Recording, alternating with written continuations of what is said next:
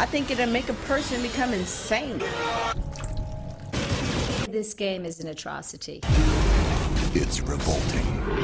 It's violent. It's everything you love in a game. And your mom's gonna hate it.